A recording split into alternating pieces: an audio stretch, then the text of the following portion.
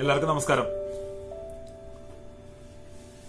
ഞാൻ കഴിഞ്ഞ കുറച്ച് ദിവസങ്ങളായിട്ട് ചെയ്തുകൊണ്ടിരുന്നത് പ്രൊജക്റ്റുമായിട്ട് ബന്ധപ്പെട്ട ചില വീഡിയോസ് ആണ്. ബി എസ് സി കുട്ടികളുടെ പ്രൊജക്റ്റുമായിട്ട് ബന്ധപ്പെട്ട വീഡിയോസ് അപ്പോൾ ഇങ്ങനെ പ്രൊജക്റ്റുമായിട്ട് ബന്ധപ്പെട്ട വീഡിയോസ് ചെയ്യുമ്പോൾ ഞാൻ എന്റെ കോർ സബ്ജക്റ്റിന്റെ വീഡിയോ ഇതുവരെ ചെയ്തില്ല. അതായത് എന്റെ സബ്ജക്ട് കെമിസ്ട്രി ആണ് കെമിസ്റ്റാണ് കെമിസ്ട്രിയാണ് റിസർച്ച് ചെയ്യുന്നത്. ഞാൻ ബി എസ് സി ഒരുപാട് കുറച്ച് പഴക്കമുണ്ട് രണ്ടായിരത്തി എട്ട് പതിനൊന്ന് ബാച്ചിലാണ് എന്റെ ബി എസ് സി തൃശ്ശൂരുള്ള സെന്റ് തോമസ് കോളേജിലായിരുന്നു ബി എസ് സി ചെയ്തത്. അന്ന് നമുക്ക് ബി എസ് സി പ്രൊജക്ട് ഒന്നുമില്ല. ബി എസ് സി പ്രൊജക്ട് എന്ന് പറഞ്ഞാൽ ഭയങ്കര കൂളായിട്ടുള്ള ഒരു സംഭവമാണ്. ബി എസ് സി പ്രൊജക്ട് അതായത് ഇപ്പോൾ പ്രൊജക്ടിന്റെ ഒരു ഡെഫിനേഷൻ കേട്ടത് വെച്ചിട്ട് അന്ന് എം എസ് സിക്കാർ ചെയ്തുകൊണ്ടിരുന്ന പ്രൊജക്ട് നേരെ എടുത്തിട്ട് ബി എസ് സിയിലേക്ക് മാറ്റി എം എസ് സിക്കാർ കൂടുതൽ റിസർച്ച് ഓറിയന്റഡ് ആയിട്ടുള്ള പ്രൊജക്ട് ചെയ്യുന്നത് ബി എസ് സിക്കാരുടെ പ്രൊജക്ട് എന്ന് പറയുമ്പോൾ തീരെ നിലവാരം കുറച്ച് കണ്ട കുറച്ചുകൂടെ സമയം എടുത്തിട്ട് അല്ലെങ്കിൽ ഒരു പതിനഞ്ച് ദിവസം ഗ്യാപ്പ് കൊടുത്ത് ചെയ്യാവുന്ന പ്രൊജക്റ്റാണ് ആണ്. അപ്പോ ടീച്ചർ പറഞ്ഞു ഫെബ്രുവരിയിലാണ് പ്രൊജക്ടിന്റെ സബ്മിഷൻ ഡേറ്റ് ഹരിപരിയായിട്ട് നടക്കുന്ന സമയമാണ് അപ്പൊ ഞാൻ ഇന്ന് ഇവിടെ സജസ്റ്റ് ചെയ്യാൻ പോകുന്നത് കുറച്ച് പ്രൊജക്ട് ടോപ്പിക്കുകളാണ് ഈ പ്രൊജക്ട് ടോപ്പിക്കുകളുടെ പ്രത്യേകത നമ്മൾ സാധാരണഗതിയിൽ ഉം വെറുതെ എന്തെങ്കിലും കാട്ടിക്കൂട്ടിയിട്ട് പ്രൊജക്ട് ഉണ്ടാക്കണ്ട എന്ന് വിചാരിച്ചിട്ടാണ്. അപ്പൊ സാമൂഹിക പ്രസക്തമായ കാര്യങ്ങൾ അതായത് സൊസൈറ്റിക്ക് ഒരു ചെറിയ ബെനിഫിറ്റ് കിട്ടുന്ന കാര്യങ്ങളെ കുറിച്ചുള്ള പ്രൊജക്ടുകളാണ് കൂടുതലും ബി എസ് സി കുട്ടികൾക്ക് അഭികാമ്യം. കാരണം നമ്മൾ എന്തെങ്കിലുമൊക്കെ ചെയ്തു എന്നൊരു തോന്നൽ ഉണ്ടാവും. അങ്ങനത്തെ കുറച്ച് പ്രൊജക്ട് ടോപ്പിക്സിനെ കുറിച്ചിട്ടാണ് ഇന്നത്തെ സംസാര വിഷയം. ഈ ടോപ്പിക്സിൽ കുറെ സാധാരണഗതിയിൽ ചെയ്യുന്ന ടോപ്പിക്സ് ഉണ്ട്. എന്നാൽ കുറച്ച് ഡിഫറെന്റ് ആയിട്ട് ചിന്തിക്കാൻ പറ്റുന്ന കുറച്ച് ഫീൽഡുകൾ ഉണ്ട് അപ്പോൾ നിങ്ങൾ നിങ്ങളുടെ കറസ്പോണ്ടിങ് പ്രൊജക്ട് ഗൈഡിനോട് കൺസൾട്ട് ചെയ്തിട്ടാണ് പ്രൊജക്ട് സെലക്ട് ചെയ്യേണ്ടത്. അപ്പോൾ പ്രൊജക്ടിന്റെ ടോപ്പിക് സെലക്ട് ചെയ്യുമ്പോൾ അവരായിട്ട് ചർച്ച ചെയ്ത് ഗൈഡിന് എന്താണ് പറയാനുള്ളത് കേട്ട് അവർക്ക് ഈ പ്രൊജക്റ്റിൽ സഹായിക്കാൻ പറ്റുമോ? അവരുടെയും കൂടെ ഒരു ഇൻട്രസ്റ്റ് ഉള്ള ഫീൽഡാണോ എന്നൊക്കെ നോക്കിയിട്ട് വേണം ടോപ്പിക് സെലക്ട് ചെയ്യാനായിട്ട് ബി എസ് സിയുടെ അപ്പൊ അത്രയാണ് കാര്യങ്ങൾ പറയാനുള്ളത്. ടോപ്പിക്കുകളിലേക്ക് കടക്കുന്ന സമയത്ത് ഞാൻ കുറച്ച് കുറച്ച് പഴഞ്ചൻ ടോപ്പിക്കുകളാണ് തോന്നുന്ന രീതിയിലുള്ള കുറച്ച് സാധനങ്ങളൊക്കെ ഉണ്ട് അതിൽ ഒരെണ്ണാണ് ഈ പാൽ മായം ചേർക്കണ പരിപാടി. പാൽ വെള്ളം ചേർക്കുന്നുണ്ട് കുഴപ്പമില്ല. ആരോഗ്യത്തിന് കിടന്നില്ല. പക്ഷെ കലക്കുപാൽ ഉണ്ടെന്ന് പറയാറുണ്ട്. കലക്കുപാൽ കലക്ക് കള്ള് എന്നൊക്കെ പറയുന്ന കുറച്ച് സാധനങ്ങൾ അപ്പൊ അതിന്റെ ഒരു അനാലിസിസ് നടത്താനായിട്ട് കുറച്ച് കാലം മുന്നേ പബ്ലിഷ് ചെയ്തിട്ടുള്ള ഒരു പേപ്പറിൽ കുറച്ച് പ്രൊസീജിയേഴ്സും അതിന്റെ ഡാറ്റയൊക്കെ ഉണ്ട് അപ്പൊ അത് വെച്ചിട്ട് പ്രൊജക്ട് ചെയ്യാം. ഈ പാലിൽ മായം ചേർത്തിട്ടുള്ള സാധനങ്ങൾ സാധാരണയായിട്ട് ചേർക്കാൻ പറ്റുന്ന കെമിക്കൽസിന്റെ ഒക്കെ ഒരു ലിസ്റ്റും അതൊക്കെ എങ്ങനെയാണ് പരിശോധിക്കുന്നത് എന്നുള്ള കാര്യങ്ങളൊക്കെ പേപ്പറിലുണ്ട് പേപ്പറിന്റെ ലിങ്ക് ഞാൻ ഡിസ്ക്രിപ്ഷനിൽ ഇടാം. അതാണ് ഒരു കാര്യം. പിന്നെ ചെയ്യാൻ പറ്റുന്നത് പ്ലാന്റുകൾ ചെടികളിൽ നിന്ന് ഫൈറ്റോ കെമിക്കൽസ് എന്നറിയപ്പെടുന്ന കെമിക്കൽ കമ്പോണൻസ് എക്സ്ട്രാക്ട് ചെയ്തെടുക്കുന്ന ഒരു ചടങ്ങാണ്. പല അധ്യാപകരും നിങ്ങളുടെ പല അധ്യാപകരും കണ്ടിട്ടുണ്ടാവും. കാരണം അതൊരു അതൊരു ശാഖയാണ്. കാരണം പ്ലാന്റുകളിൽ നിന്ന് കിട്ടുന്ന കെമിക്കൽസ് ഐസൊലേറ്റ് ചെയ്തിട്ട് അതിന്റെ പ്രോപ്പർട്ടീസ് സ്റ്റഡി ചെയ്യാൻ ആൽക്കലോയിഡ്സ് ഒക്കെ അങ്ങനെ എക്സ്ട്രാക്ട് ചെയ്യുന്ന ഒരു പരിപാടിയുണ്ട്.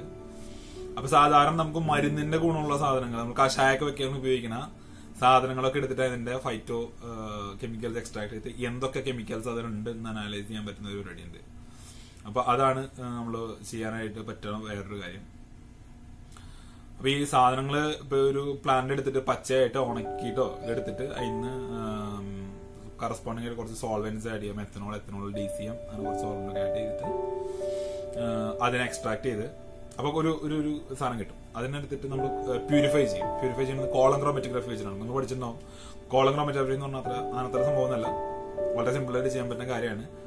എപ്പോഴും ഈ സാധനത്തിൽ നിന്ന് നിങ്ങൾക്ക് കറക്റ്റ് ഭയങ്കര നല്ല റിസൾട്ട് കിട്ടിയോളൊന്നുമില്ല കേട്ടോ ഇതൊക്കെ പ്രൊജക്ട് എന്ന് പറഞ്ഞാൽ ചെറിയൊരു പരീക്ഷണമാണ് ഈ പരീക്ഷണത്തിൽ ജയിക്കാം പരാജയപ്പെടാം. എന്നാലും പ്രൊഡ്യൂസ് ചെയ്യാൻ പറ്റുന്ന റിസൾട്ട് ഉണ്ട്. അപ്പൊ ഈ കിട്ടിയ സാധനത്തിന് ജി സി എം എസ് വെച്ചിട്ട് അനാലൈസ് ചെയ്ത് കഴിഞ്ഞാൽ ജി സി എം അനാലിസിസ് നടത്തി കഴിഞ്ഞ് G C M S analysis നടത്തി കഴിഞ്ഞ് കഴിഞ്ഞാൽ നിങ്ങൾക്ക് വേണ്ട അതിനകത്തുള്ള ഫൈറ്റോ കെമിക്കൽസിന്റെ ഒരു ലിസ്റ്റ് കിട്ടും മിക്കവാറും എല്ലാ ജി സി എം എസുകളിലും ലൈബ്രറി ഉണ്ടാവും. ആ ലൈബ്രറി വെച്ചിട്ടാണ് നമ്മളത് നോക്കുക. അപ്പൊ അതിനെക്കുറിച്ച് കുറിച്ച് കൂടുതൽ കാര്യങ്ങൾ അറിയുകയും ചെയ്യാം. പരിപാടി നടത്തുകയും ചെയ്യാം. ഒന്ന് അപ്പൊ അതാ അടുത്ത സാധനം. ഇനി പറയാൻ പോണത് ചെറുത്ത തമാശ. എന്ന് വെച്ച് കഴിഞ്ഞാൽ മുരിങ്ങയിലൊക്കെ നല്ല ഇരുമ്പ് സത്തുള്ള സാധനം. മുരിങ്ങയില മുരിങ്ങക്കായ ഇരുമ്പിന്റെ സത്ത് രക്തത്തിന്റെ അളവ് കൂട്ടാനായിട്ടുള്ള കപ്പാസിറ്റി ഉണ്ട്. എന്നൊക്കെ പറയാറുണ്ട്. മറ്റേ നമ്മുടെ ഇങ്ങൊരു പറഞ്ഞിട്ടുള്ള ഇരുമ്പല്ല കേട്ടാ. മറ്റേ മോഹനവേദി പറഞ്ഞിട്ടുള്ള ഇരുമ്പല്ല. കാന്തിക ശില അകാന്തിക ശില അന്തമാതിരി സാധനം ഒന്നല്ല അപ്പൊ ഈ സാധനം ചെയ്യാവുന്നേ ഉള്ളൂ. അപ്പൊ അത് എങ്ങനെയാ മെഷർ വെച്ചാൽ ഗ്രാവിമീറ്റർ വെച്ചിട്ട് നമുക്ക് മുരിങ്ങയിലുള്ള ഇരുമ്പിന്റെ അംശം മെഷർ ചെയ്യാൻ പറ്റും. എന്തോരം ഇരുമ്പുണ്ട്. ആ അതാണ് പിടിക്കാൻ പറ്റും. ഗ്രാവിമീറ്റർ ഒരു നല്ല ടൂളാണ് ഗ്രാവിമീറ്റർ വെച്ചിട്ടും നമുക്ക് ഈ ഇരുമ്പിന്റെ അംശം കണ്ടുപിടിക്കാൻ പറ്റും. എത്ര ഇരുമ്പുണ്ട് എന്നുള്ളത്. അപ്പൊ അയണിന്റെ അയോണിക് സ്റ്റേറ്റുള്ള അയണിന്റെ മറ്റു ഫോമിലേക്ക് മാറ്റുകയാണ് ചെയ്യുക. അത് ഗ്രാവിമീറ്റർ വെച്ചിട്ടാണ് ചെയ്യുന്നത്. പിന്നുള്ളത് മോഹനവൈദ്യരനാണ് പ്രധാന മോഹനവൈദ്യരാണ് അതായത് കംപ്ലീറ്റ് എണ്ണയിലും പാരഫിൻ ഓയിലാണ് ലൈറ്റ് പാരഫിൻ എന്ന് പറഞ്ഞ സാധനം ഉണ്ട് അത് ചേർത്തിട്ടാണ് കംപ്ലീറ്റ് എണ്ണ ഉണ്ടാക്കുന്നത് കേരളത്തിൽ. പുള്ളി മറ്റേ പെട്രോ കെമിക്കൽ ഇൻഡസ്ട്രിയിൽ എഞ്ചിനീയർ ആയിരുന്നു എന്നുള്ള തള്ളൊക്കെ കേട്ടിട്ടുണ്ടാവും അപ്പൊ കെമിസ്ട്രി വിദ്യാർത്ഥികളായ നിങ്ങൾക്ക് സ്വാഭാവികമായിട്ടും കൗതുകം തോന്നാണ് പാരഫിൻ ഓയിൽ ചേർത്ത് നമുക്ക് കണ്ടുപിടിക്കാൻ പറ്റില്ലേ? കണ്ടുപിടിക്കാൻ പറ്റും. പാരഫിൻ ഓയിലിൽ കുറച്ച് കാര്യങ്ങൾ നമുക്ക് പറയാനുള്ള ബേസിക് ആയിട്ട് നിങ്ങൾ ആലോചിച്ചാൽ കിട്ടുന്ന ഒരു കാര്യമാണ്. പാരഫിൻ ഓയിൽ എന്ന് പറയുന്നത് ഹൈഡ്രോ കാർബൺ ആണ് അതിനകത്ത് വേറെ ഫങ്ഷണൽ ഗ്രൂപ്പുകൾ കാര്യമായിട്ട് ഒന്നും വിടില്ല. ആരോമാറ്റിക് ഹൈഡ്രോ കാർബൺസ് ഉണ്ട്. അപ്പൊ അതുകൊണ്ട് തന്നെയാണ് പാരഫിൻ ഓയിൽ ചേർക്കുന്ന പ്രശ്നം. ആരോമാറ്റിക് ഹൈഡ്രോ കാർബൺസ് ചിലർക്ക് ഒത്തിരി കാർസിനോജനിക് ക്യാരക്ടർ ഉണ്ട്. അപ്പൊ ഇങ്ങനെയുള്ള കാർസിനോജനിക് ആയിട്ടുള്ള ഹൈഡ്രോ കാർബൺസ് ഉണ്ടെങ്കിൽ അത് നമുക്ക് കേടാണ്.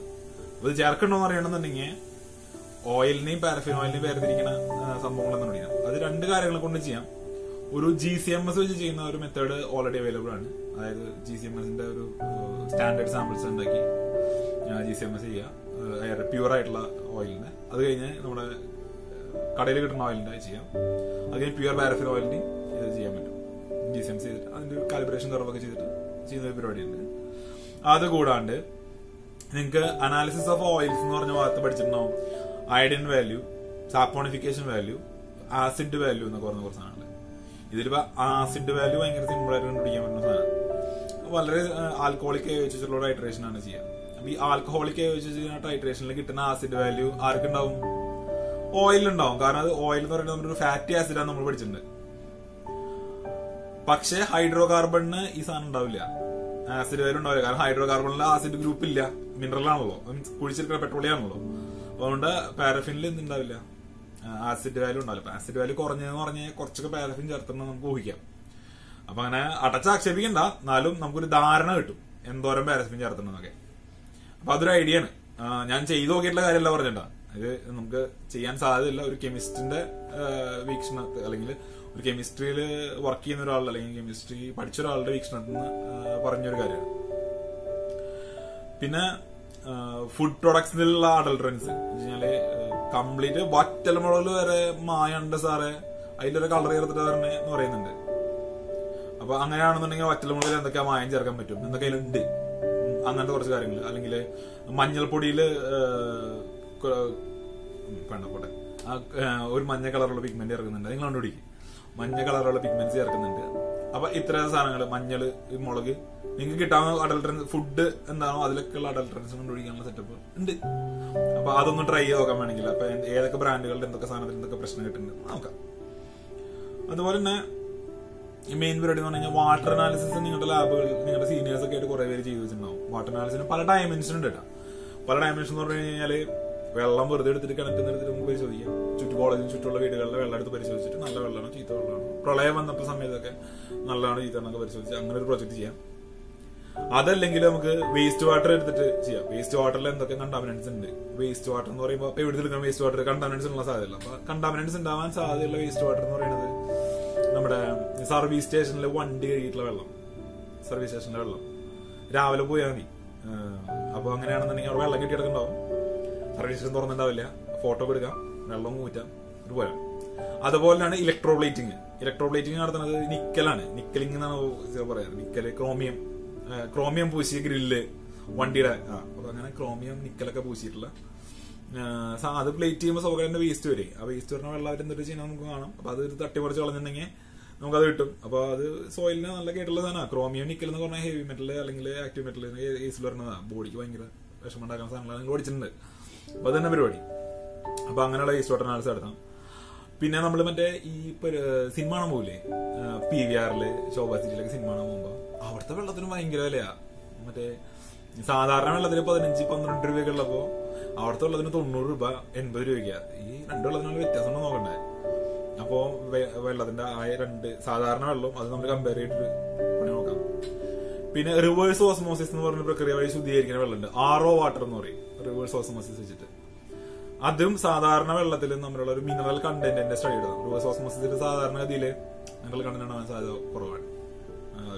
ഓസ്മോസിസ് നടത്തുമ്പോൾ നമുക്ക് അയോൺസിനെ മാറ്റിയെടുക്കുക എന്നുള്ളതാണ്.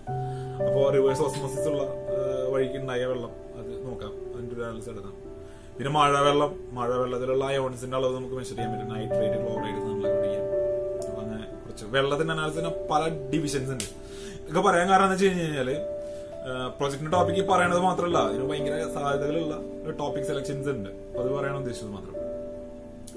പിന്നെ കൊറോഷൻ ഇരുമ്പ് തുരുമ്പിക്കണം കണ്ടിട്ടുണ്ട് അത് അയേൺ അയേൺ ഓക്സൈഡ് ആവണമെന്നാണ് നമ്മൾ പഠിച്ചിട്ടുണ്ട്. ഇരുമ്പ് തുരുമ്പിക്കാനായിട്ട് ഒരു എൻവയോൺമെന്റ് വേണം കൊറോസീവ് എൻവയോൺമെന്റ് അപ്പൊ കൊറോസിം എൻവയോൺമെന്റ് പലതരത്തിലുണ്ട്. ഒരു വാർക്ക കമ്പി. ഈ കോൺക്രീറ്റ് വാർക്കയുടെ ഉള്ളിട്ടു. അത് കുറച്ചു കഴിയുമ്പോൾ തുരുമ്പിച്ച് നമ്മുടെ വീട്ടിലൊക്കെ വാർക്ക അടർന്നു വീണ് കാണാറുണ്ട്. അപ്പോൾ വാർക്ക കമ്പി വാർക്ക എന്ന് പറയുന്നത് ഈ സിമെന്റ് സിമെന്റിന്റെ പി എച്ച് എന്തിനാണെന്ന് നോക്കുക. അതുപോലെ അത് ആൽക്കലൈൻ പി എച്ചിൽ എന്തോരം തുരുമ്പിക്കുന്നുണ്ട് അസിഡിക് പി എച്ചിൽ എന്തോരം തുരുമ്പിക്കുന്നുണ്ട് അതുപോലെ തന്നെ ന്യൂട്രൽ പി എച്ചിൽ എന്തോരം തുരുമ്പിക്കുന്നുണ്ട് ഉപ്പുവെള്ളം സലൈൻ വാട്ടർ കടൽ വെള്ളത്തിൽ എന്തോരം തുരുമ്പിക്കുന്നുണ്ട് ശുദ്ധവെള്ളത്തിൽ എന്തോരം തുരുമ്പിക്കുന്നുണ്ട് ഇങ്ങനെ പല എൻവയോൺമെന്റിലുള്ള കൊറോഷൻസ് നമുക്ക് നോക്കാൻ പറ്റും. അതിപ്പോ ഇരുമ്പിന്റെ തന്നെ വേണമെന്നില്ല. ഇരുമ്പാണെങ്കിലും ചെമ്പാണെങ്കിലും എന്ത് സാധനമാണെങ്കിലും നമുക്കൊന്ന് പരീക്ഷിച്ച് നോക്കാം. അതൊരു നല്ല ഐഡിയ ആയിരിക്കും. അപ്പൊ അങ്ങനെ ഇത്യാദി സാധനങ്ങളിലൊക്കെ തുരുമ്പിക്കൽ അങ്ങനെ കൊറോഷന്റെ അനാലിസിസ് നടത്താൻ പറ്റും. പിന്നെ ചെയ്യാൻ പറ്റുന്നത് ഭയങ്കര രസമുള്ള ഒരു പരിപാടിയാണ്. Perfume the story of a murder എന്ന് പറഞ്ഞൊരു സിനിമയുണ്ട്. നിങ്ങൾ കണ്ടിട്ടുണ്ടാവും.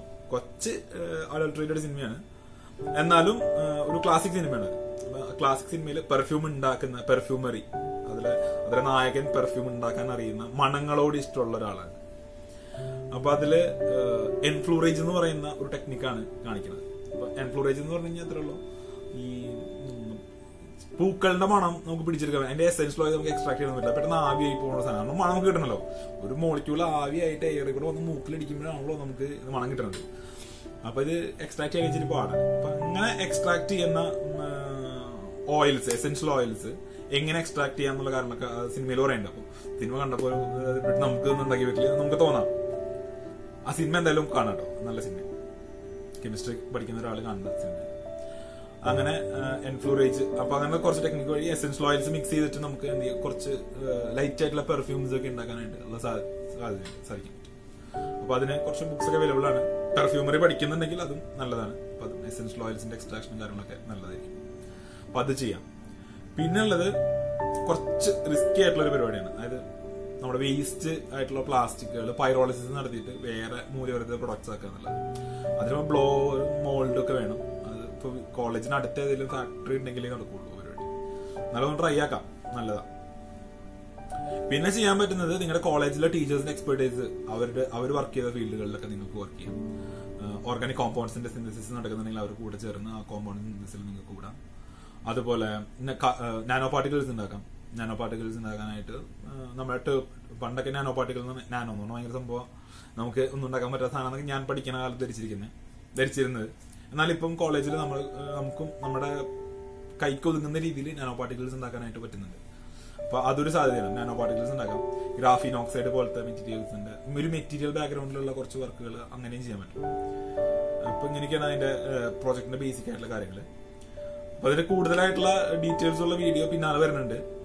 പിന്നെ ഈ പ്രോജക്ട് റിപ്പോർട്ട് തയ്യാറാക്കുമ്പോൾ നമുക്ക് കെമിക്കൽ സ്ട്രക്ചർ വരയ്ക്കേണ്ടി വരികയാണെന്നുണ്ടെങ്കിൽ കെംഡ്രോ എന്ന് പറഞ്ഞ സോഫ്റ്റ്വെയർ ഉപയോഗിച്ചാണ് ഒരുപക്ഷം സയന്റിസ്റ്റുമാർ അല്ലെങ്കിൽ റിസർച്ച് ചെയ്യുന്ന ആൾക്കാരൊക്കെ സ്ട്രക്ചേഴ്സ് വരയ്ക്കുന്നത് കൈ പൈസ കൊടുത്ത് വാങ്ങിക്കാൻ ഇത്തിരി ബുദ്ധിമുട്ടാണ്.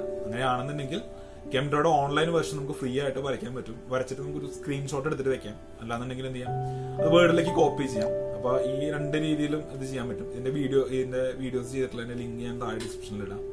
അതിന്റെ സാധനങ്ങളൊക്കെ അതിനകത്തുണ്ട്. വീഡിയോന്റെ ലിങ്ക് ഇടാം. സൈറ്റിന്റെ ഓൺലൈനായിട്ട് സൈറ്റിന്റെ ലിങ്ക് ഇടാം. അപ്പൊ അത് ഉപയോഗിച്ച് നിങ്ങൾക്ക് ചെയ്യാം. ഇതാണ് അതിന്റെ ഒരു കാര്യം. പിന്നെ ഈ പറഞ്ഞ പോലെ തന്നെ നിങ്ങൾക്ക് കെമിസ്ട്രി ആയിട്ട് ബന്ധപ്പെട്ട് തോന്നാവുന്ന കാര്യങ്ങളെ കുറിച്ചൊക്കെ നിങ്ങൾക്ക് പ്രൊജക്ട് ചെയ്യാം. പ്രശ്നമൊന്നുമില്ല.